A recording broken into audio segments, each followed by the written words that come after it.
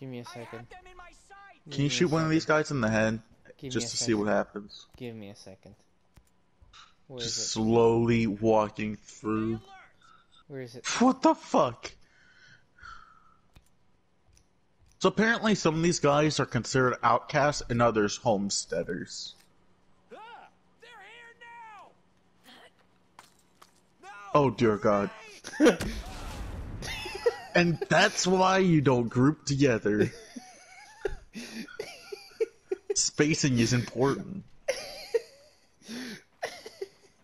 You just took out an entire fucking high school class, bro. Like,